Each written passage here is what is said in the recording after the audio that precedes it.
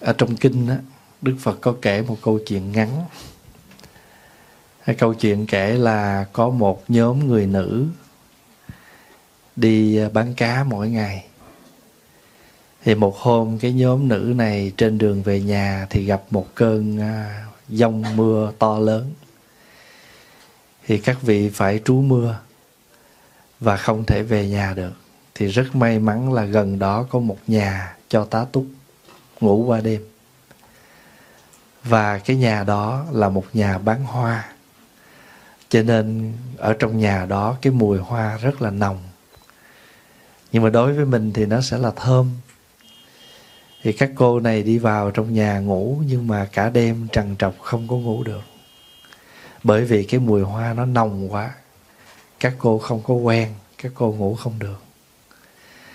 Và sau đó thì à, trời gần sáng thì có một cô thông minh ngồi dậy, đi lấy mấy cái rổ cá mà mấy cô bán để ngay đầu nằm, để cho có mùi cá nó thoang thoảng ra. Rồi mấy cổ làm quen lại với cái mùi cá và ngủ rất là ngon. Thì đức phật kể câu chuyện đó xong á, thì đức phật mới kết luận, tất cả chúng ta sống bằng cái tập nghiệp của mình cái hệ không có cái đó cái mình chịu không nói thành thử ra mình luôn luôn đấm theo. Những cái nghiệp mà nếu mà may mắn mà cái nghiệp đó là cái tốt á thì còn đỡ khổ. Còn nếu như mà cái nghiệp đó là cái nghiệp xấu thì mình làm khổ cho mình và mình làm khổ cho người. Bởi vì cái nghiệp á, tức là những cái gì mà chúng ta huân tập chúng ta lặp đi lặp lại mỗi ngày ví dụ như là mình nói trời sao tôi thấy người đó tụng kinh hay quá mà tôi tụng dở? Người ta tụng hay là tại vì người ta tụng mỗi ngày. Rồi người ta chịu khó người ta nghe tiếng người khác tụng rồi người ta tụng theo. Còn mình á, thì không có chịu tụng thì mình nghĩ rằng mình tụng dở cho nên mình cứ lầm bầm trong miệng riết là lâu ngày nó cũng thành cái thói quen. Rồi mình không có hòa theo được cái âm điệu thì mình cũng không có âm điệu rồi mình cũng không có thường xuyên tụng, cho nên mình cũng không nhớ. Cho nên dù là tụng kinh hay dù là bất cứ việc gì trong cuộc sống, nếu chúng ta biết cái đó là lành mà chúng ta không thường làm thì chúng ta cũng thanh thành cái nghiệp lành được. Mà nếu chúng ta biết nó là dở mà chúng ta cứ làm hoài thì lâu ngày nó cũng kết thành cái nghiệp xấu. Ví dụ như mình biết hút thuốc là bệnh nhưng mà mình cứ biết bệnh mà mỗi lần rút điếu thuốc ra là biết bệnh nhưng mà vẫn cứ hút. Thì lâu ngày nó thành cái tập nghiệp và chúng ta vẫn không bỏ được cái điếu thuốc đó. Vậy thì nghiệp á, là không phải ai cho mình, mà cũng không có cái gì gọi là ghê gớm mà chúng ta không không nói được. Là những gì mà chúng ta huân tập thành một thói quen mỗi ngày. Giống như những cô bán cá đó ngửi mùi cá quen rồi. Giờ không có mùi cá, chịu không nổi. Phải có cái mùi đó mới ngủ được. Thì đó là chỉ một câu chuyện ví dụ thôi. Thì chúng ta có thể từ câu chuyện đó rồi chúng ta phân ra. Đi tìm tòi cho mình coi mình đang bị cái nghiệp gì nó lôi mà chúng ta đấm chìm mà kiểu không có nó chịu không nổi. Thật sự ra thì có những cái nó không có gì tội lỗi cả. Nhưng mà nhìn nhìn lại mình thấy mình tức cười là cuộc sống của mình mình rất là to, mình tạo ra nó rồi cuối cùng nó nó control mình hết. Ví dụ như mình to hơn trái ớt không? Mình ăn ớt mới đầu mình đi kiếm nó, mình ăn nó rồi cuối cùng nó ăn mình. Là tại vì không có ớt mình ăn không ngon. Thật ra cái cái chuyện nó rất là đơn giản thôi. Và để cho chúng ta chữ thiền quán trong nhà Phật là gì? Là chúng ta có thể dừng lại rồi chúng ta nhìn sâu từng vấn đề trong cuộc sống. Từng vấn đề trong cuộc sống. Một ly cà phê mình quậy ra nó mình mình quậy cà phê mình làm ra cà phê mình uống cà phê mới đầu là nó nó đi theo mình. Nhưng mà cuối cùng nó nhỏ nhỏ mà nó có vỏ. À, cuối cùng rồi thì nó chỉ là một ly cà phê nhưng mà nó thắng mình hết không có nó, đó là một ngày đó mình hết làm gì nổi hết. Thật ra uống ghiền cà phê đâu có tội, phải không? Nhưng mà cho chúng ta nhìn thấy, để chúng ta rút. Cái nghiệp cà phê là chuyện nhỏ thôi. Còn cuộc đời này có những cái nó ghê gớm hơn nữa. Nó lớn lao hơn nữa. Mà nó có thể tán gia bại sản. Ví dụ là cờ bạc. Rượu chè, hút sách. Còn chuyện mình ghiền trái ớt ghiền ly cà phê là chuyện bình thường, nhưng mà cái nhỏ đó nó giúp cho chúng ta thấy cái lớn. Mà bây giờ chúng ta cứ nhìn lại rồi chúng ta sẽ thấy là hầu như mình tạo ra tất cả, rồi cuối cùng mình bị tất cả cái đó nó lôi mình hết. Nhưng mà nếu mình may mắn nó lôi cái cái mà thiện lành thì mình còn đỡ. Ví dụ như tối ngủ mà ông có ông thầy pháp hòa lãi nhãn bên tôi ngủ được.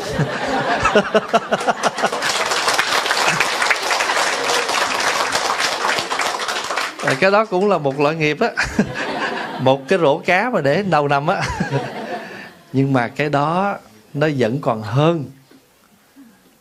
Nó vẫn còn hơn. Cho nên trong cuộc sống của chúng ta, chữ phật nghĩa là gì? Phật nghĩa là giác, là tỉnh, là không có mê cho nên có nhiều khi mình mình ăn cơm mà mình khó chịu, mình ăn ngon. Phải có trái ớt á. Thì mỗi khi mình cầm trái ớt lên là mình cười với nó, mình nói, hồi xưa tao, mày khổ gì tao, giờ tao khổ gì mày? Ừ, trái ớt nó rất là đơn giản thôi. Và có bà thấy rằng nhiều lúc mình ngồi ăn, bữa ăn mà mình thấy mỗi người khổ một kiểu. Trời ơi, ăn phở không có quế ăn, chất quất thì cái người đó bị cộng quế nó lôi người khác thì bị trái ớt, mà nhiều khi á đem ớt tươi ra, ăn phở phải ăn tương ớt chứ ai ăn ớt tươi. Thật ra cái đó nó rất là nhỏ. Nhưng mà cuối cùng là hình như là từ bữa ăn cho tới cuộc sống của mình, ăn mặc của mình, cái gì cũng bị những cái nhỏ nhỏ, đó nó lôi hết ngay cả chai nước hoa, hồi xưa nó có tới với mình đâu, mình đi tới nó. Rồi mình spray nó lên thử trên người mình, rồi cái hình như ai cũng chịu mùi này, cái bữa khác mình để mùi khác vô, chịu không được thì cái chai nước hoa đó nó cũng làm cho, nó cũng lôi mình được. Thật sự không có tội lỗi gì hết. Pháp Hòa nói những cái điều này là để chúng ta có tỉnh giác là vậy đó. Tức là mỗi khi mình bị những cái gì đó thì mình hãy nên, mình có cơ hội mình nhìn lại và mình mỉm cười với tất cả những cái mà chúng ta bị lỗi. Vì phật, đạo phật là gì? Đạo phật là gì? Là con đường cho chúng ta tỉnh giác đạo phật không phải chỉ là một tôn giáo để chúng ta tín ngưỡng, thờ phượng, lại lục, cúng bái, cầu xin. Những cái đó là những cái đáp ứng cái nhu cầu tín ngưỡng của mình. Nhưng mà cái chính thức của đạo phật là chúng ta học để chúng ta tỉnh, để chúng ta sống, chúng ta có an lạc. Ví dụ như hôm nào mà mình ăn cơm mà không có ớt, mình chịu không nổi.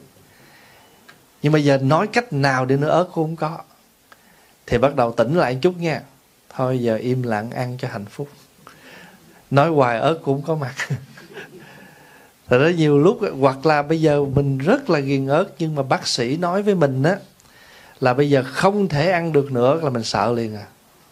Tại sao dám bỏ ớt lúc đó, biết không? Tại sợ chết. Quý vị thấy không? Thật ra có một cái nó trội hơn. Nó làm cho mình, nghĩa là chấp nhận buông cái đó. Cái anh đến ghiền rượu quá mà bác sĩ nói là cái gan của anh nó nát rồi đó nha. Nếu mà anh không nghe lời tôi, anh bỏ rượu là anh chết trong vòng một tháng nữa là về bỏ liền. Thành thử có một cái nó trội hơn để nó rút mình ra khỏi những cái con đường mê lầm đó là chết. Vì vậy mà đức phật thường hay nói niệm chết. Phật tử chúng ta có 10 cái niệm 10 cái nhớ nghĩ trong đó có thể nhớ phật, nhớ pháp, nhớ tăng, nhớ giới, nhớ thiên. Là năm rồi phải không? Nhớ vô thường, nhớ hơi thở, nhớ hưu tức tức là thôi đi. Nhớ chết. Nhớ chết là gì? Nhớ mình, nhớ chết tự nhiên có những cái nhỏ nhỏ mình bỏ được. Mình đang giận người đó quá mà mình nhớ cái khác, mình nói không đập này không được. Thì mình quánh nó một cái thì nó có chuyện cho nên thôi. Thôi đi, không cần thiết nữa là niệm hưu tức. Thôi, đừng nghĩ tới nữa trong cái nhớ đó, trong 10 cái nhớ Phật dạy mà là thập niệm đó, có một cái niệm gọi là niệm hưu tức tức là thôi đi. Nên trong trong nho, trong sách nho cũng có câu hưu hưu hưu. Vạn sự nhất tề hưu thôi đi thôi đi thôi đi. Cả vạn việc nó cũng sẽ theo đó mà nó thôi. Hưu hưu hưu vạn sự nhất tề hưu nhẫn nhẫn nhẫn. Trái chủ oan gia tùng thử tận. Nhịn nhịn nhịn. Mọi cái sự oan gia trái chủ từ đây sẽ hết. Thì niệm hưu tức tức là niệm, thôi đi, đừng có nghĩ, đừng có lo có đó chuyện đó nữa. Ví dụ như bây giờ mình lo già. Mà càng lo nó càng già, tại vì cái lo là mình mau già. Cho nên thôi đừng lo nữa, khi nào nó già hay. Mà không chờ nó cũng tới. Không chờ già nó cũng tới. Không trông nó cũng tới, không đợi nó cũng tới. Nó là một người khách không mời mà tới mình chết cũng vậy. Không ai ưa, không ai thích, không ai dám nghĩ tới nó. Nhưng mà nó vẫn slowly, từ từ nó tới với mình. Mà nói chữ slowly là nói có văn chương nó có bài bản, chứ có thể nó nó tới bất cứ lúc nào. Nó không cần appointment. Nó không cần gọi phone cho nó, I'm coming. Để mình nói ok let me get ready. Không có thật ra mình nói là nói ồ nó sẽ tới. Tức là mình nói để cho có một cái cái nhẹ nhàng để mình thấy là ờ à, nó chưa đâu. Còn nếu nói đúng nói thật hơn là nó có thể tới bất cứ lúc nào anytime. Cho nên mà nó chỉ cần nó gõ cửa một cái mình mở ra là mình surprise. Mình đi liền. Cho nên Pháp Hòa xin nhắc lại là khi là mình là cái người mà học Phật á hay là mình là đạo Phật á thì đừng nghĩ là ô mình bị một cái tôn giáo nào họ ừ, nó nó, nó làm khổ mình hết á. Mà cứ nhớ là thí dụ bây giờ mình mình chưa bao giờ quy y gì nhưng mà nó tôi là đạo Phật nghĩa là tôi đang đi theo con đường tỉnh giác. Tôi đi theo con đường tỉnh giác. Mà con đường trước kia đó làm cho tôi mê. Bây giờ tôi tỉnh tôi thấy giống như là có một cái ông đó ông câu cá đó. Ông ngọn câu hoài không được con cá nhưng mà lúc mà con cá nó cắn vào cái câu rồi ông giật lên cái nó tuột á. Ông nhào xuống sông chụp nó. Thì ông đứa con nó ngồi kế bên đó, nó hỏi ông ba nó nó ba ba ba ông đó câu cá hay cá câu ổng thì con người chúng ta cũng vậy. À, mới đầu mình đâu có mình không có gì chứ mình đơn giản lắm nhưng mình bị ngang, có cái bóp randa đó, nó câu mình. Mà vô cái nó để cái nhãn hiệu, nó nói on sale. Không? rồi nó để thêm câu nó washable. Rất là tiện lợi, giặt rửa. Ồ, bao nhiêu cái quảng cáo, cái bắt đầu nó câu mình rồi. Nó câu mình xong rồi giờ khổ lắm á, đi tới đâu mà sợ mất. Ngồi hồi cái tá quả tâm tinh, vỏ tôi đâu rồi. thật sự cái đó có gì tội đâu. Nhưng mà những lúc vậy cái mình có cơ hội mình nhìn lại mình mình đã thấy không? Mình dính rồi. Mình dính rồi. Cho nên có nhiều khi mà có nhiều người mà đang ngồi ngồi cái rờ cái vỏ, cái trời trời, mất cái phone này, chạy kiếm quá trời. Nhưng mà những lúc đó nó tỉnh, ủa, mình mất phone, mình mất giỏ mất áo, mất giày, mình kiếm quá chừng quá đất mà mất tâm không ai kiếm hết.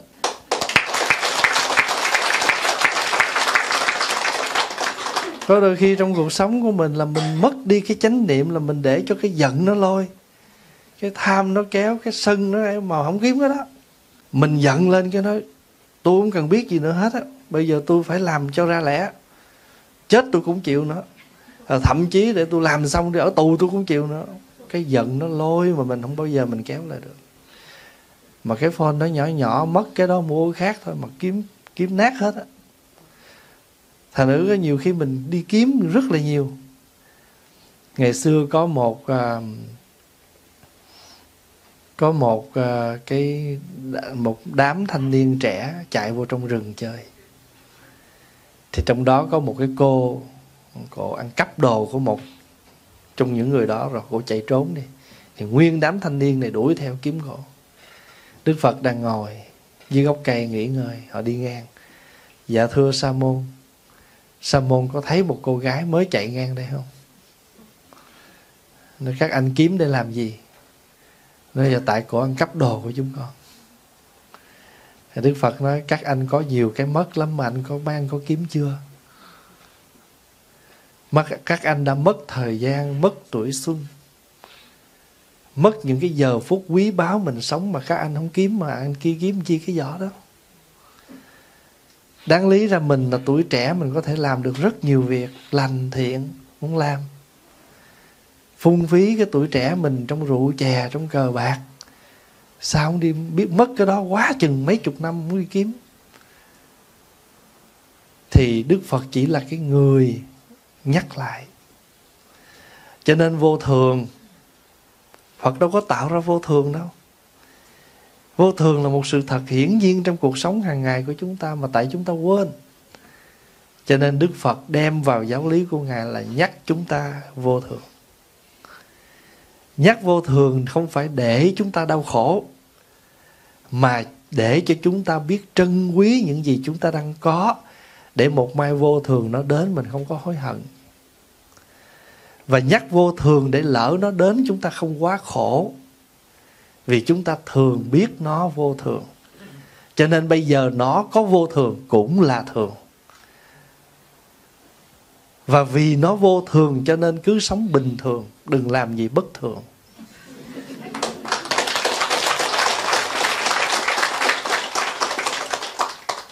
Ví dụ như cái hoa này. Nó đang tươi đây nhưng mà chúng ta nhìn với cặp mắt phật nhãn pháp nhãn, tuệ nhãn thì chúng ta vẫn thấy nó rằng nó là vô thường. Cho nên khi nó còn đẹp đây, enjoy. Và khi mà nó có chết đi, nó héo đi, mình cũng bình thường tại vì nó có héo, rồi nó sẽ trở thành phân bón, nó nuôi những bình hoa khác. Hay nói một cách khác là nhờ nó có đi cho nên cái khác nó tới. Cho nên nhờ cái vô thường vậy đó, mà nếu cuộc đời này mà không có vô thường, thì hạt cam mãi mãi là hạt cam mà không là cây cam và không có trái cam. Nhờ có vô thường cho nên có cây cam, có trái cam. Và nhờ có vô thường cho nên mình ăn cam, ngon, rồi nó tiêu hóa tốt cho nên ăn được nữa. Nếu mà nó thường đã ăn vô bụng nảy no hoài. Cái nó trời, sao bệnh bụng tôi bất thường quá, ăn no hoài, cái đi kiếm thuốc uống vô cho nó vô thường. như vậy thì có đôi khi chúng ta rất cần vô thường mà chúng ta không biết. Ví dụ như ăn mà không tiêu hóa là bất, cái mình kêu là bất thường. Rồi mình phải đi kiếm thuốc uống cho nó sổ ra để nó vô thường, để mình tiếp tục mình ăn có nữa. Nếu mình uống vô trong vòng 2 tiếng 3 tiếng sau mà không vô thường là mình đi bác sĩ. Bác sĩ ơi, sao tôi không bình thường?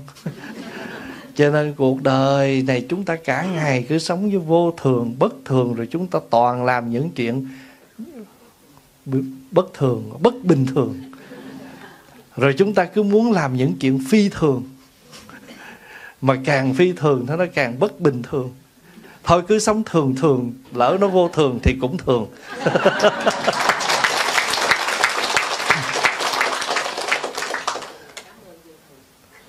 Đó, phải cảm ơn vô thường là nhờ đứa nhỏ đó nhờ có vô thường cho nên đứa con mình nó nhỏ nó có lớn nếu mà vô thường không có thì nó mãi mãi nó nhỏ. Mình nuôi hoài nó không lớn cái đi bác sĩ. Tại vì sao nuôi hoài nó không lớn? Như vậy thì vô thường đâu có đâu có đâu có chắc gì nó đã là khổ đâu. Tại vì mình không nhận ra được vô thường, mình không hiểu được vô thường, không sống được vô thường thì vô thường bây giờ trở thành một cái gì đó làm khổ mình. Nếu một không có vô thường thì người bệnh không bao giờ có cơ hội hết bệnh không có vô thường thì một người xấu không bao giờ có cơ hội làm người tốt. Cho nên, thưa đại chúng là, nhưng mà rồi ngược lại, cái vô thường, chúng ta trẻ rồi chúng ta sẽ bị vô thường và chúng ta già, rồi chúng ta chết. Thành ra vô thường nó nó nó là cái gì nó bình thường lắm, nó chi phối tất cả.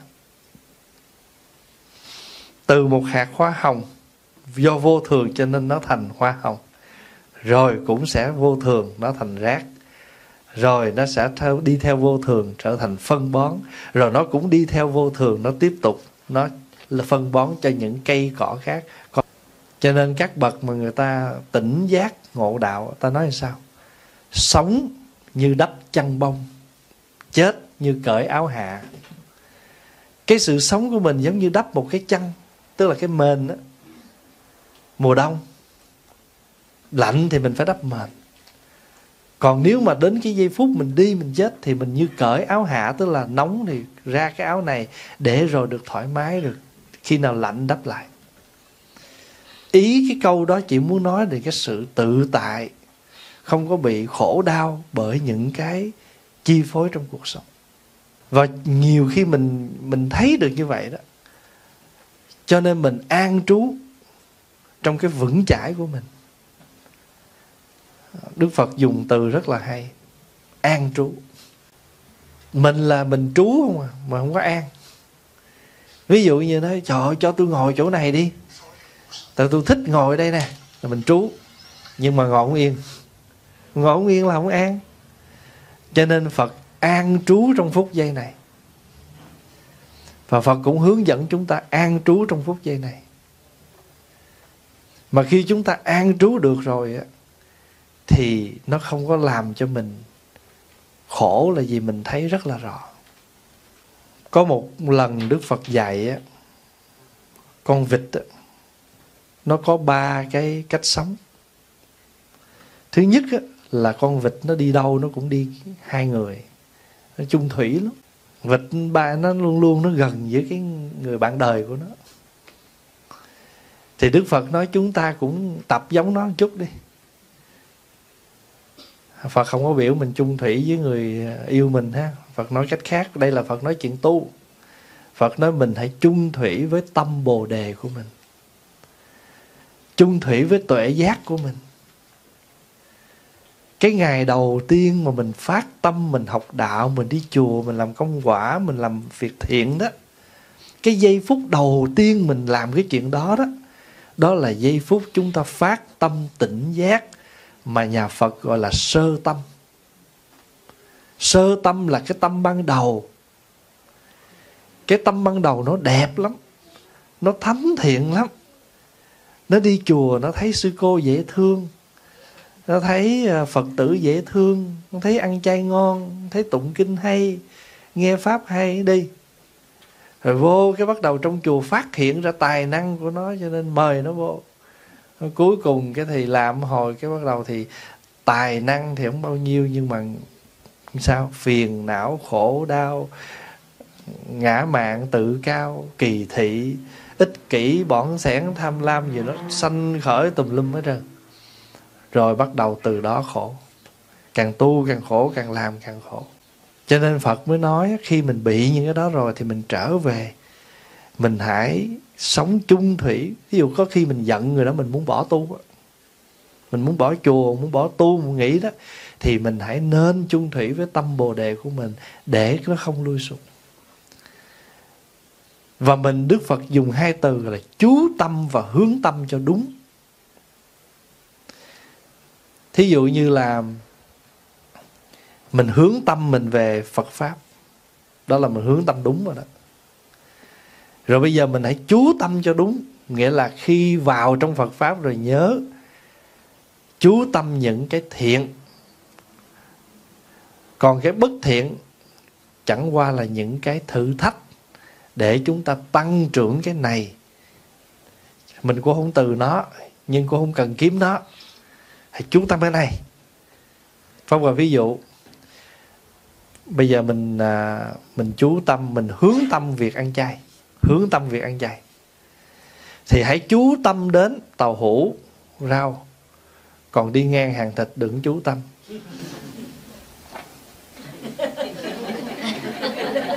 Trời ba sườn. Ăn chay rồi hướng tâm rồi mà sao còn hướng làm chi?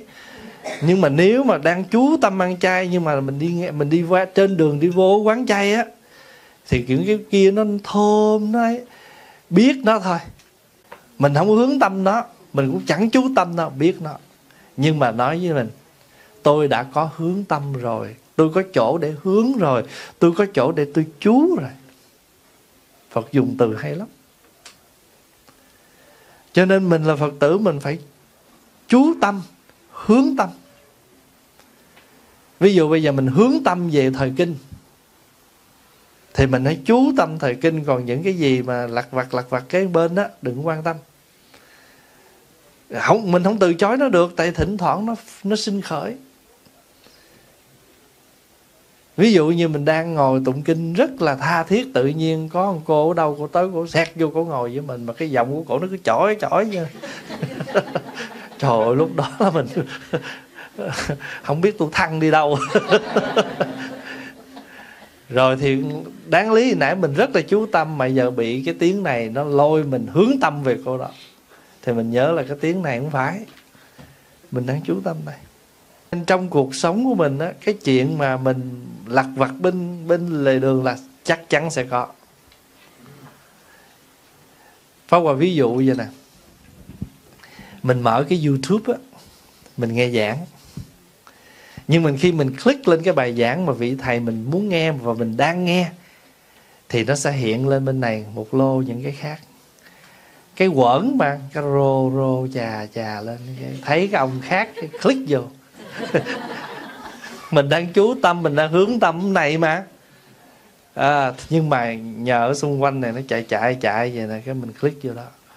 Rồi cái đang đang được 5 phút cái bắt đầu rô rô tìm tìm cái nó cái click rốt cuộc suốt một tiếng đồng hồ mà ông bài nào nghe xong hết đó có ai bị dính gì đó không nè?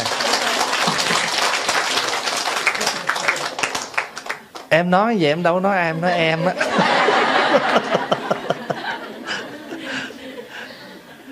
Và Pháp Hòa, ví dụ vậy thì đại chúng nào đã từng cái kiểu như vậy là biết liền cái gì?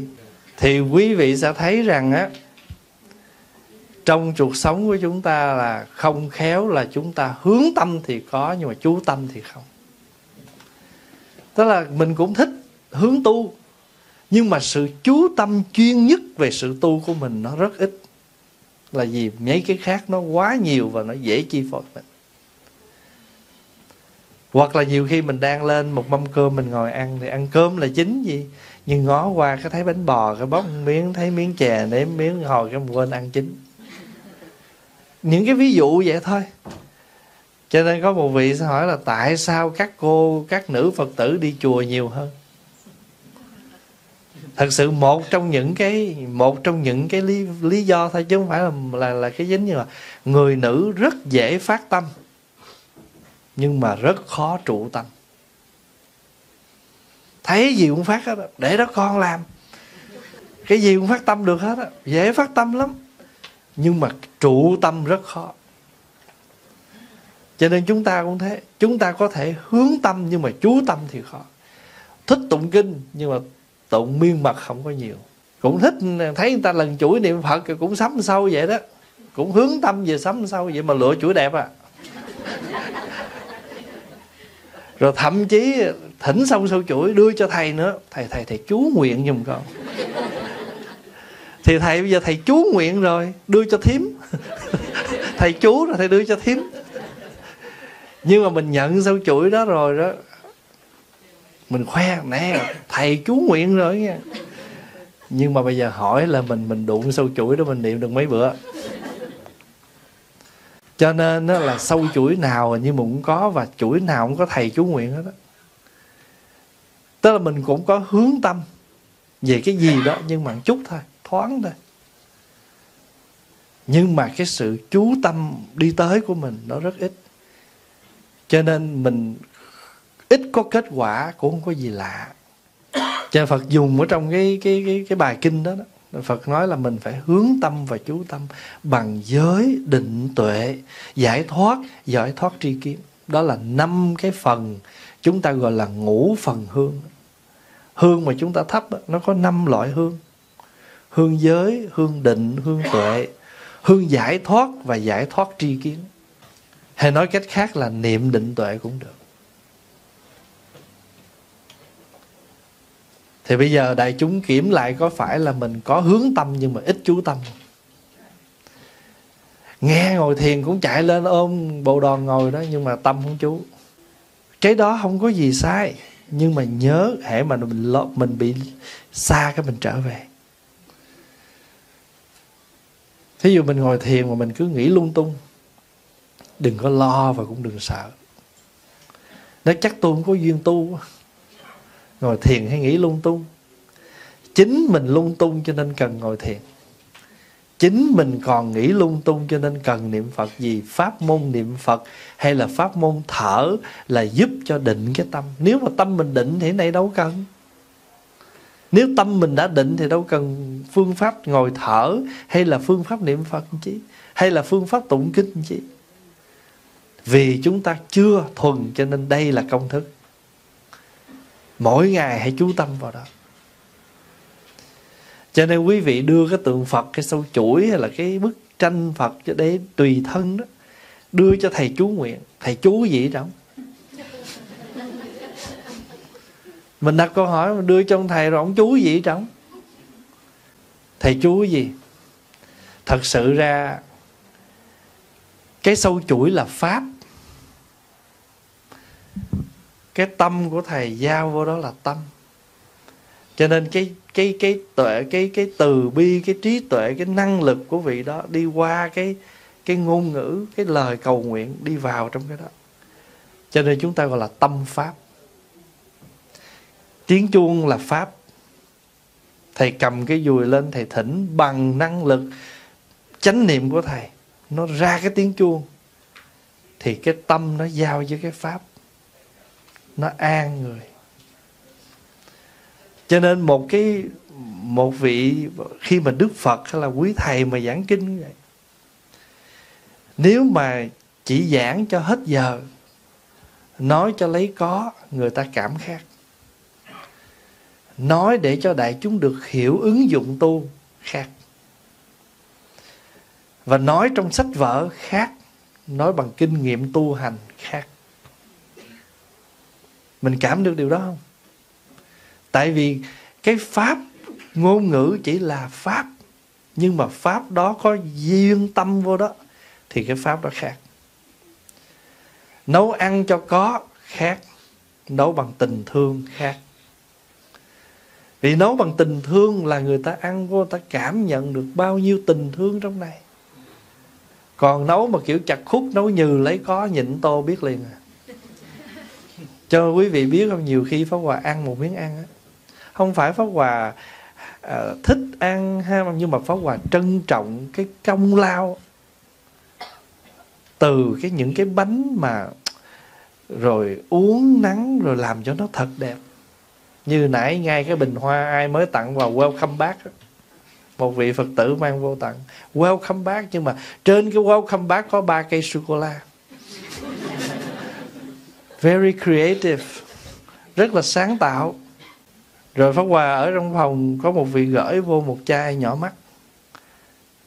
Thật ra tất, Pháp Hòa nhận tất cả những cái đó bằng tất cả tình thương. Và Pháp Hòa biết là người ta đã gia tâm tới mình cho nên chai nước nhỏ mắt đó mới tới tay mình. Có một phật tử đem cái nón len, nói, tôi muốn tôi muốn đem tận tay cho thầy trong phòng của hòa nghe. Pháp Hòa mới nói với anh Phật tử, Mời cô vô. Cho nên trong cuộc sống của chúng ta, Người ta có gia tâm tới mình, Thì mình phải gia tâm tới họ. Cho nên linh thiêng ở chỗ đó, Màu nhiệm ở chỗ đó. Mà nó tụng kinh cầu nguyện có kết quả không? Tùy tâm mình Hữu cầu sẽ ứng, Nhưng mà ứng bằng cách nào? Nó phối hợp nhiều thứ với cái phước của mình, với cái năng lực chánh niệm của mình, với tất cả tâm thành của mình cũng giống như pháp hòa nói ở trong cái không khí này, trong không gian này, nó đã sẵn có những signal cái quan trọng là cái máy chúng ta có điện không? Cái máy chúng ta, cái motor nó còn quớt không? Để chúng ta ghim điện vô và chúng ta bật nó lên và nó bắt signal. Signal này vẫn có, luôn luôn có. Quan trọng là cái của chúng ta, nó có bắt được cái signal đó không? Phật lực cũng vậy. Tam bảo lực đã có. Quan trọng cái lực của chúng ta chúng ta cultivate. Chúng ta phát triển nó như thế nào để nó giao cảm. Tại sao một cái người đó, họ sống chung với mình, họ khổ quá trời mà mình không hay? Người dân mới gặp bữa biết liền. Tại vì mình sống chung mà tâm mình không giao cảm. Không bao giờ quan tâm tới người đó. Người đó bệnh, người đó khổ mà mình không hay. Nhưng người khác, người ta sống bằng năng lực từ bi năng lực trí tuệ cho nên người ta thoáng nhìn người ta đi ngang mình người ta cảm nhận được cái sự đau khổ trong lòng mình và thậm chí người ta không quen mình người ta khó nói quá người ta chỉ tới người ta nắm tay mình người ta dỗ về mình thậm chí người ta rót cho mình một ly nước thậm chí người ta nói người ta mời mình đi ăn hay người ta lấy cho mình một chén cháo tất cả bằng cái tình thương vì người ta có cái năng lực đó người ta cảm.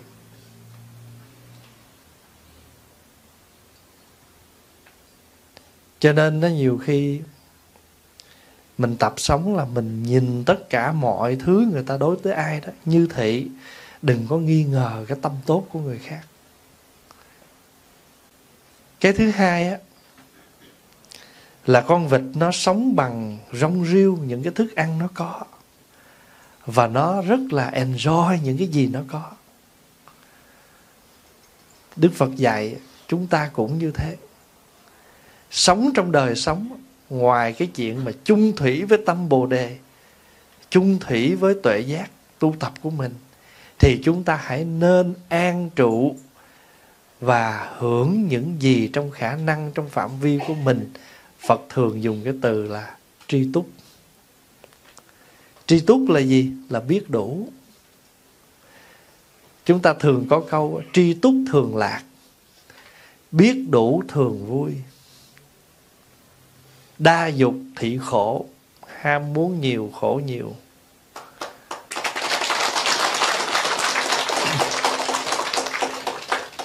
Thì chúng ta đừng lầm. Như vậy đạo phật dạy cho mình bi quan quá, không có chịu phát triển khả năng, không? Phật đâu có nói vậy nếu anh có khả năng gì anh cứ phát triển nhưng mà đừng có over cái mà mình có khả năng thì tự mình làm khổ mình và làm khó người. Thưa đại chúng là cái cõi này được gọi là cõi dục. Chúng ta đang sống trong cõi dục. Nói theo danh từ bình thường là cõi muốn. Chúng ta có muốn không? Có. Muốn ăn muốn ngủ muốn à, thương muốn cái chuyện muốn là chuyện bình thường nhưng mà cái khổ của cái người muốn nó thêm chữ ở trước là ham. Nó trở thành là ham muốn.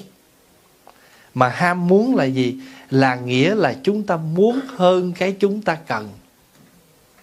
Cho nên ở trước chữ đó nó có chữ tham muốn.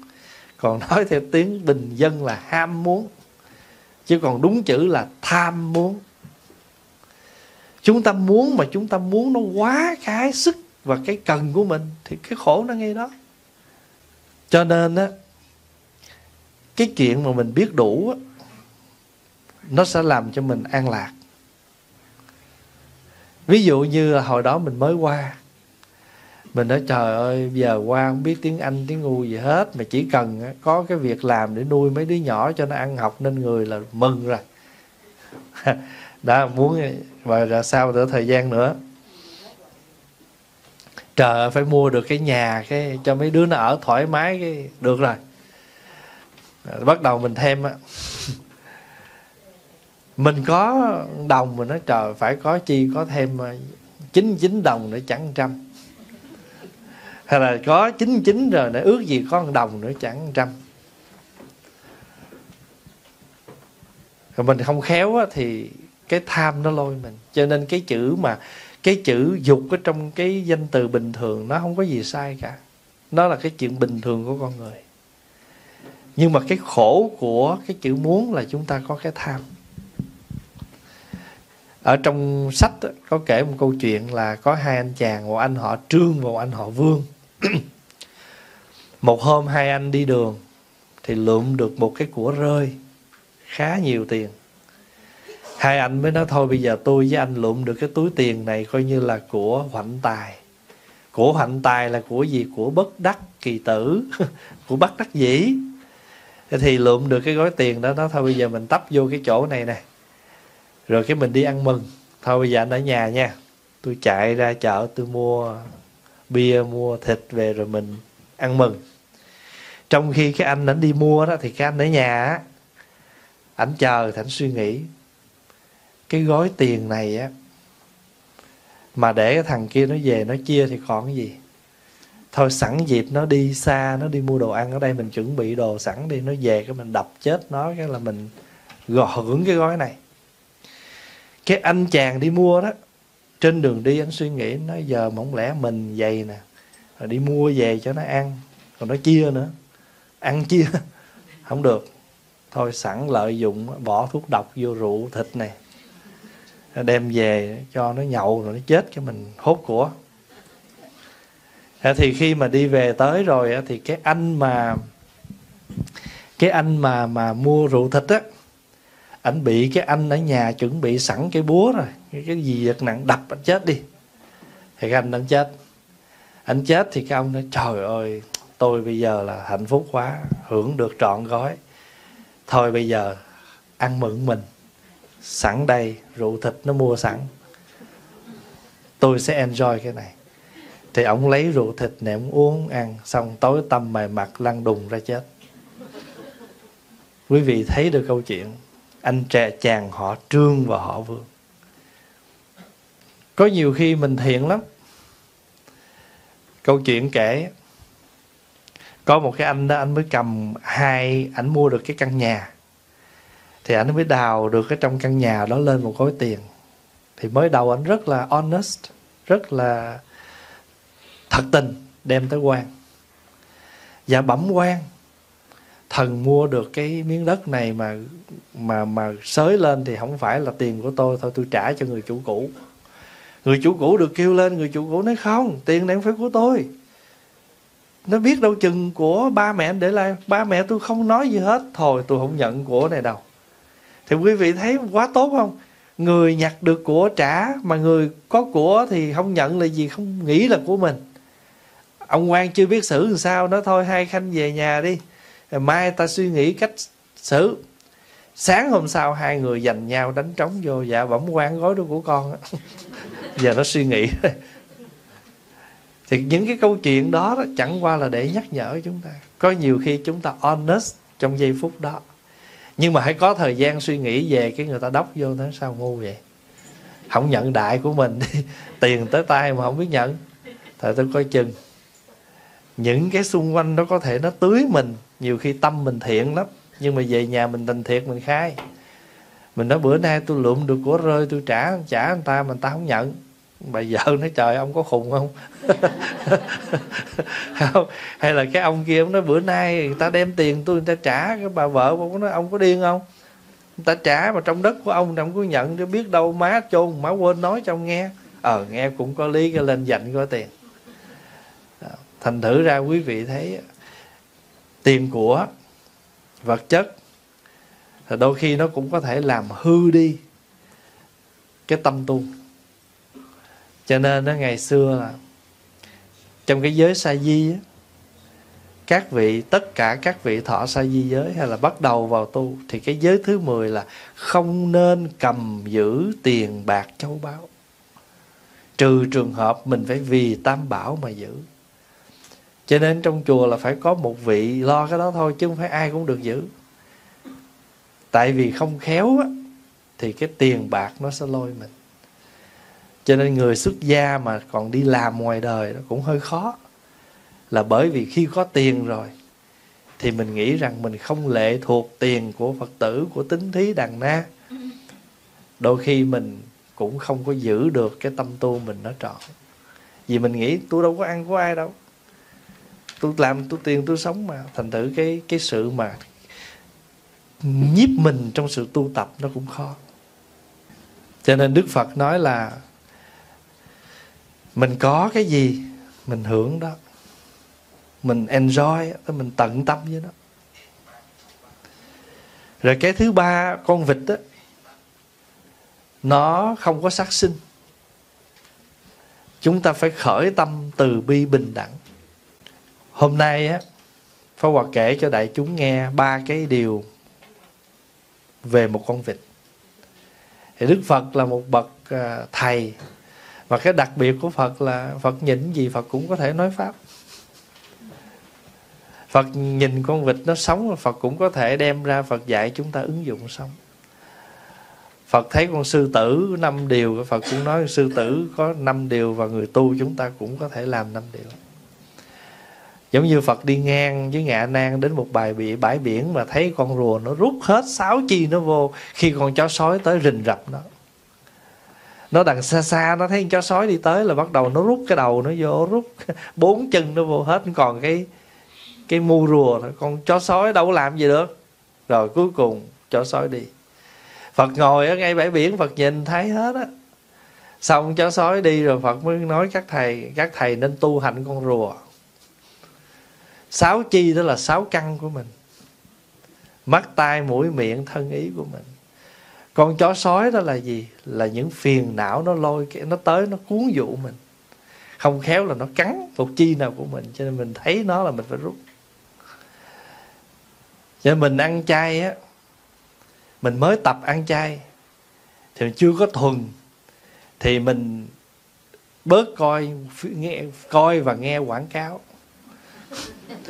Bún bầu ấy một năm đồng một tô, ăn một tô, free một tô trời, mình ngó qua đồ chay 10 đồng tô bún bò huế coi bộ ăn mặn sướng hơn ăn chay. Cho nên, thưa đại chúng, cái mà Pháp Hòa muốn nói là Phật dạy chúng ta hãy hướng tâm và chú tâm cho đúng. Một khi chúng ta hướng tâm cho đúng rồi thì cái sự chú tâm của chúng ta nó cũng phải được miên mật như vậy.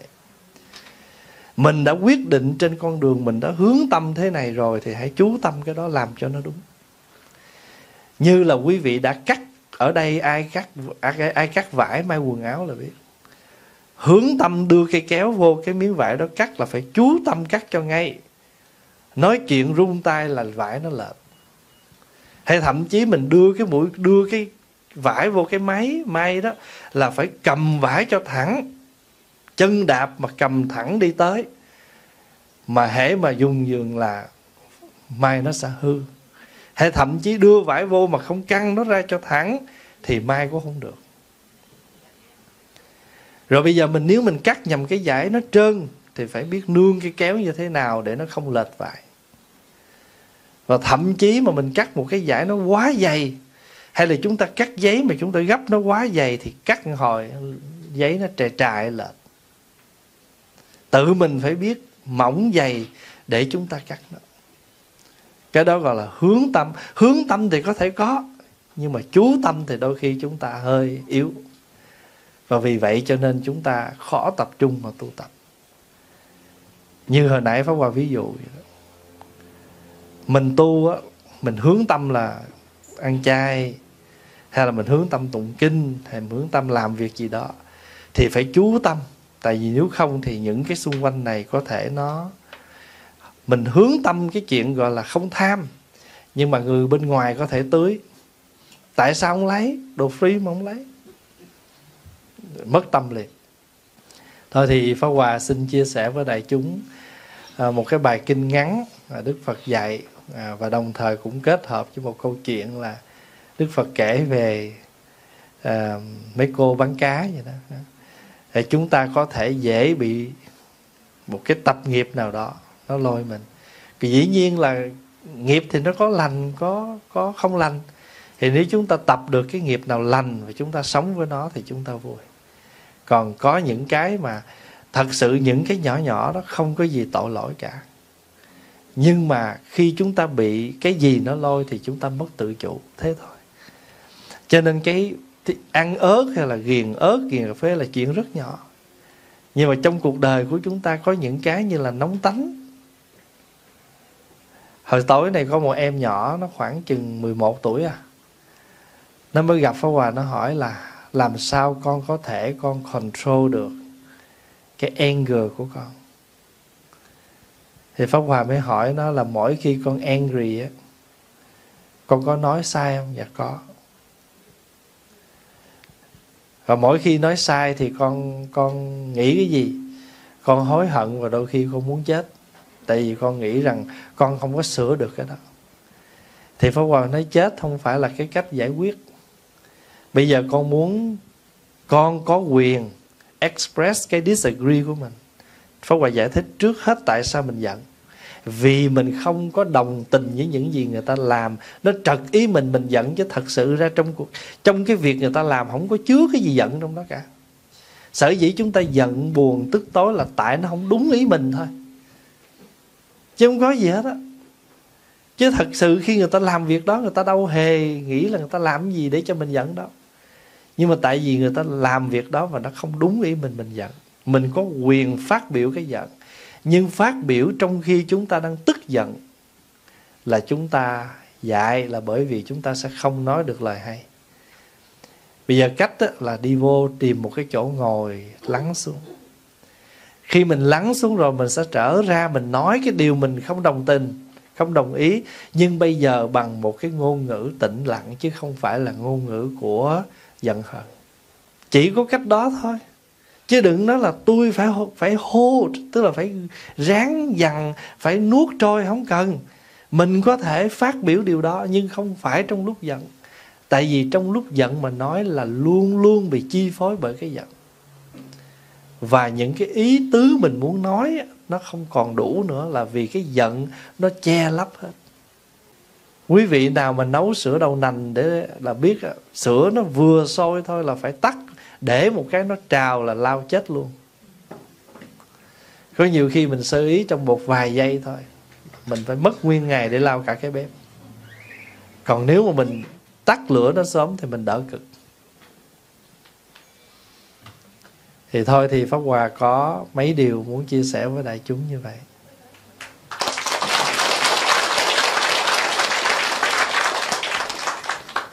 Ở đây có vài câu hỏi. Xin Thầy hoan hỷ chỉ chúng con an cái tâm của các em teen đi học xa nhà, Các em sợ bị chết khi đi máy bay. Thật sự đây cũng là một cái tâm lý thôi tâm lý là nó hay đọc tin tức thấy máy bay rớt, máy bay bị tai nạn, rồi từ từ từ nó build up cái sợ hãi trong người của nó. Cái quan trọng là chúng ta biết làm sao để cho các em nó an cái tâm nó là bằng cách là khi con lên máy bay. Con đừng nghĩ gì mà con chỉ nhắm mắt, con thở và con, hoặc là mình giúp cho nó à con cầu nguyện có nhiều lúc mà đi máy bay mà máy bay nó nó nó nó rớt rồi nó nó nghiêng ngã ai cũng sợ quá trời đó. Hồi đi xuống máy bay cái mấy bà mỹ lợi gặp pháo hòa nắm tay. Thank you. We feel blessed because you here. Thật sự ra, tại vì quý bà thấy mình, quý bà nghĩ chắc là phật chúa gì phù hộ, tại có nhờ ông thầy trong này nhưng mà mình nói bụng nó dạ không đâu, nếu có gì cũng cộng nghiệp như nhau. Thật sự không phải một cái chuyện rớt máy bay không. Mà nó rất nhiều việc chúng ta sợ hãi trong cuộc sống của mình. Có nhiều khi có nhiều người có ăn nhưng mà vẫn sợ đói. Vì sợ đói cho nên non bụng rồi vẫn kịp lấy mấy miếng bỏ túi. Nhưng mà mình biết là mình ăn không nổi. Nhưng mà cứ sợ đói là phải để dành quý vị nào mà đi xa là sẽ biết nhìn trong xe quá trời đồ ăn mà rốt cuộc đem về hết trơn. Ăn bao nhiêu đâu. Nhưng mà cái tâm lý sợ đói sợ khát sợ đủ thứ của mình là mình thủ đủ thứ hết. À, vì chữ hiếu nếu con quyết định ly hôn chồng về nhà báo hiếu gia đình mẹ và các em làm vợ con quyết định như vậy có đúng không? Có thiệt thòi cho ba đứa con không? Cái điều này không nên làm. Đâu có ai vì chữ hiếu mà phải ly dị chồng. Nếu mà mình ly dị chồng mà mình sống không hạnh phúc thì cha mẹ khổ còn hơn.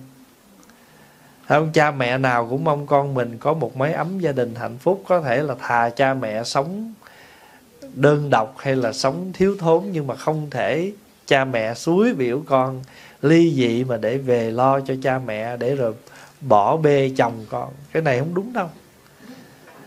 Thì có thể quý vị đúng theo cái nhìn của mình thôi. Ồ tôi làm vậy để tôi báo hiếu. Nhưng mà báo hiếu coi chừng mình chỉ báo hiếu được cái vật chất mà chúng ta báo chưa báo hiếu được cái tâm cái lòng cái khổ đau cái lo lắng của cha mẹ.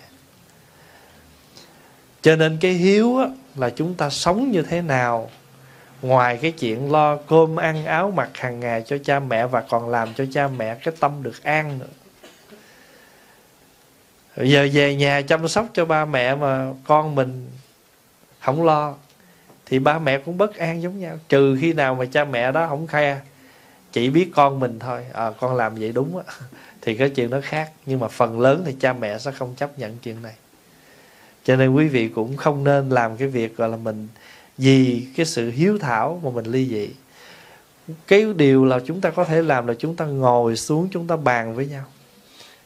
Bây giờ cha mẹ em già hay cha mẹ anh già yếu vợ chồng mình làm sao chia ra để có thể chăm sóc cha mẹ cái đó mới là hiếu. Vừa chọn cái hiếu mà vừa chọn cái nghĩa. Có nhiều khi mình chỉ hiếu được với cha mẹ mà mình thiếu cái hiếu với, với chồng với con vì chữ hiếu không có chỉ để cho mình đối với cha mẹ. Vì hiếu nghĩa là hảo là tốt. Cũng giống như người đó có ăn mà luôn luôn biết chia sẻ, người ta gọi là người đó hiếu ăn. Khách tới nhà mình niềm nở mình tiếp đãi gọi là hiếu khách. Vậy thì chữ hiếu không phải chỉ là con lo cho cha mẹ, mà chồng biết lo cho vợ cũng là hiếu. Vợ lo cho chồng cũng là hiếu con lo cho cha mẹ là hiếu, mà cha mẹ lo cho con cũng là hiếu. Mình là đệ tử phật, mình sống làm sao mình đền ơn phật là hiếu với phật. Phật hiếu với mình rồi. Phật đã mở cho con đường chúng ta tu tập rồi, thì bây giờ chúng ta chỉ còn tu tập như thế nào để làm cho cái lời dạy của đức phật được lan xa là hiếu. Cho nên cái hiếu đó là sự đối đại tốt thì chúng ta phải đối đãi như thế nào để trọn vẹn? Cuộc đời của chúng ta có hiếu có ân có nghĩa có tình chứ không phải chỉ có mà nếu mà chúng ta chọn cái phần này thì chúng ta mất đi cái nghĩa vợ chồng. Nghĩa vợ chồng không có thì hiếu nó cũng không trọn. Rồi nhiều khi á, mình làm cho cha mẹ mang một cái lỗi là vì cha mẹ mà mình bỏ chồng. Cha mẹ mang cái lỗi. Người ta trách phiền cha mẹ thì hiếu nó cũng không trọn cho nên mình phải làm sao mà khi mình làm việc gì, mình tư duy, mình quán chiếu. Và xưa nay chưa có ai làm việc đó cả. Luôn luôn là mình, trừ khi nào có những trường hợp là gì chồng khắc khe, vợ quá khắc khe mà mình không chịu nổi. Khi mình lo cho cha mẹ, thì cái người này có có thể đi tới quyết định là ly dị để lo cho cha mẹ vì người chồng hay là người vợ không có đồng tình với mình thì nếu mà vị nào đã từng bị hoàn cảnh đó và mình đã đối đãi với người thân mình như vậy thì mình nên nên suy nghĩ và sống lại. Nếu một người chồng mình hiếu với cha mẹ thì có phải người chồng nó tốt không? Tại sao mình lại lại chống bán cái chuyện đó? Nếu người vợ mà biết thương cha mẹ, hiếu với cha mẹ, đó là người vợ tốt, đó là người con tốt, mình sống trong một người tốt như vậy mình không thích sao? Nếu mà bây giờ ngược lại, nếu mà người con gái đó mà hất hủi cha mẹ mà người đó lại là vợ mình thì mình nghĩ gì về người vợ này? Trời ơi, cha mẹ ruột của bà mà bà còn hất hủi kiểu đó thì mình làm đuôi gì? Cho nên nếu mình đã từng xử như vậy đối với chồng với vợ mình, nên suy nghĩ lại. Tại sao con vợ hay là chồng của mình thương cha mẹ, lo cho cha mẹ như vậy mà mình lại chống? Cho nên trong cuộc sống của chúng ta đôi khi chúng ta chỉ thỏa mãn được cái cái cái ngã, cái muốn của mình mà chúng ta quên nghĩ cho người khác.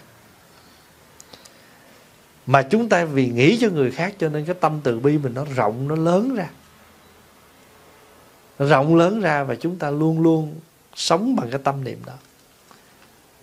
Và quý vị cứ để ý ha, người nào sống bằng tâm niệm từ bi ăn ngon, ngủ yên, sống chết tốt. Đức Phật dạy trong kinh đó, người mà có lòng từ bi có tám cái điều lợi. Ăn được ngủ được được người thương tiếng đồn xa vân vân. Người mà sống không từ bi sống như thế nào đó mà nó trật lất hết trơn thì cũng sẽ ngược lại hết. Người ta nhắc tới mình là ta bao nhiêu những lời lẽ không dễ thương như mình. Cho người đệ tử cũng vậy một người đệ tử mà đi chống lại với thầy mình ví dụ mình không đồng tình, mình cứ lui. Và trong cái im lặng nào đó. Còn nếu mình ra mình thì người ta, mình nói bao nhiêu những cái lời lẽ không hay thì ta suy nghĩ, ủa, người này là thầy họ mà họ còn như vậy thì mình đang thú gì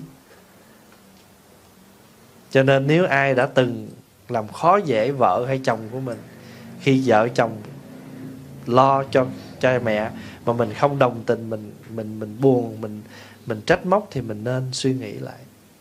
Thì mình được một cái người vợ như vậy là quý, được người chồng như vậy là quý. Có người nói rằng khi ngồi thiền, họ thấy cảnh này, cảnh nọ, như vậy là đúng hay sai của pháp ngồi thiền? Vì thấy cảnh tức tâm đã động phải không? Mà tâm động thì đâu phải ngồi thiền. Dạ hỏi tức là đã trả lời thưa ngồi thiền là chúng ta ngồi để lắng cái tâm, vì tâm chúng ta rất là lăng xăng. Nếu ngồi thiền mà để mong mình đi cảnh giới này, cảnh giới kia thì mình chồng chất cái lăng xăng chứ mình không có làm được gì hết. Đó là pháp thiền của ai thì không biết, nhưng mà thiền của nhà phật thì không có cái đó. Thiền của phật giáo là chỉ định tĩnh được cái tâm. Bởi vì sao? Bởi vì tâm là nguồn cội của mọi pháp thiện hay bất thiện nếu tâm lắng thì bất thiện lắng, thiện pháp nó sanh. Cho nên người nào mà tâm lắng lời nói, hành động, suy nghĩ của họ luôn luôn có tuệ giác, có chánh niệm, có an vui. Cho nên ngồi thiền không có để suy, để đi đâu hết á. Không có xuất hồn đi đâu mà không thấy cảnh gì. Mà nếu có thấy cảnh, cái đó phật gọi là gì? Đó là ma cảnh hay là sắc cảnh. Bởi vì chữ ma này là gì? Không phải là ma quái gì. Chữ ma mà phật muốn nói đây là sự lôi kéo, sự trở ngại, sự chướng ngăn chúng ta tiến tu chúng có gì cả. Ví dụ bây giờ mình ngồi thiền, mình thấy cảnh phật, thì mình sẽ tự cao, tự đắc rằng tôi đã tới cảnh phật. Mình bị một vọng tưởng đó, nó làm điên đảo mình. Mình sẽ ra ngoài, mình nói, tôi giờ tôi tu chứng rồi đó tôi tôi chứng là tôi đã lên tới cảnh giới của phật rồi. Nguy hiểm lắm. Mà người nào mà có khi gặp cảnh phật vui quá cũng có thể phát. Phát không bình thường là vì sao? Vì mình ham thích cảnh phật thì ma nó hiện cảnh phật nó cho mình thấy. Rồi mình thấy cảnh giả đó mình tưởng là thật. Cho nên có nhiều khi người ta ra người ta xưng, người ta là minh sư, người ta là gì gì đó. Quý vị nhớ cái đó không phải đâu chẳng qua là trong khi họ ngồi họ có lén chút gì đó họ dính vào cái đó họ nghĩ là họ đạt tới cảnh giới đó. Nhưng mà thật sự tất cả những cái đó chỉ là cái vọng tưởng cái sắc cảnh trong khi họ ngồi thôi. Cho nên quý vị niệm phật mà thấy phật phóng quang so đầu đó nếu có vui vui chút thôi. Ha, rồi thôi xả đó đừng có ra ngoài nói nhiều quá trời ơi tôi niệm phật phật xoa đỉnh rồi đó. À, nguy hiểm lắm. Tại vì nếu mà không khéo là mình trở thành cái đó phật dạy gì? Đại vọng ngữ. Có nhiều khi chưa chứng mà cho mình đã chứng. Chưa ngộ mà đã cho mình ngộ. Còn nếu không muốn nói là mình đã lạc đi sai lệch rồi. Xin thầy cho biết ma ha tát là nghĩa gì? Chữ ma ha là lớn ma ha là rộng lớn. Ví dụ mình tụng ma ha bát nhã ba la mật đa vậy đó. Ma ha bát nhã là trí tuệ rộng lớn. Còn khi mình niệm phật, nam mô quán thâm bồ tát ma ha tát. Thì cái câu này ý muốn nói là con xin đảnh lễ đức bồ tát quan thế âm là vị bồ tát lớn. Ma ha là lớn chữ tát, đây là âm, là nó chữ tắt của chữ bồ tát chứ là ma ha tát như là bồ tát rộng lớn. Nói theo tiếng việt của mình là một vị bồ tát lớn. Thí dụ như thế là, đây là một vị thầy lớn trong chùa này. Tức là ý nó là senior monk. Một cái leader, một cái senior monk. Thì chúng ta gọi là thầy lớn. Một vị thầy lớn, một sư anh lớn, một sư chị lớn thế ở đây vậy bồ tát này là một vị bồ tát lớn, có hạnh nguyện rộng lớn cứu khổ. Lớn này không phải lớn cái xác. Nó ma ha tát quan âm. Ma ha tát là quan âm bự, thiệt là bự. Cái cái cái bự đó chỉ là bự cái, không phải cái size, mà bự cái hạnh, cái đức, cái tu. Cho nên nhiều khi người đó rất là nhỏ nhưng mà người đó có trái tim lớn. Thì mình gọi mình gọi người đó là gì? Là đại nhân đó. Thường thường ta nói dạ bẩm đại nhân. Nó ủa ổng con chút mà đại nhân gì? À. thì thường ta nói đại nhân là gì? Là người có cái tâm có cái chức lớn. Thì trong phật giáo chữ đại á, không phải là cái size mà ở cái gì? Cái tâm lượng. Ví dụ ta nói hôm nay đại thí chủ tới cúng dường Không phải là bà đó đem cúng 50 ngàn, trăm ngàn. Mà người đó đi cúng bằng cái tâm thanh tịnh Là đại thí chủ. Cho nên chữ Ma Ha Tát là Bồ Tát lớn. Mà Ma Ha Tát là mình nói Âm theo cái tiếng Phạn. Nam Mô Quán Thế Âm Bồ Tát Ma Ha Tát Nói theo tiếng Việt là Kính lại vị Bồ Tát lớn là Đức Quán Thế Âm. Vậy thôi. À, thì đó là những câu hỏi của ngày hôm nay ha. Và cũng đồng thời là chúng ta kết thúc cái buổi à, sinh hoạt này. Thì một lần nữa xin à, cảm niệm công đức sư cô à, trụ trì à, quý phật tử tại tỉnh thất hiền như đã tạo duyên cho chúng ta trong buổi sáng hôm nay. Và pháp hòa cũng xin cảm ơn đại chúng đã dành thời gian quý báu của mình à, tham dự một cái buổi sáng à, sáng sớm phải nói là sáng sớm á à, lẽ ra giờ này quý vị là ngủ trễ vì cuối tuần nhưng quý vị đã dành cái buổi sáng hôm nay à, để về chùa ôn tập lại những lời Phật dạy. Xin à, cảm ơn đại chúng và chúc nguyện đại chúng luôn được khỏe mạnh, an vui. Nam mô Bổn Sư Thích Ca Mâu Ni Phật.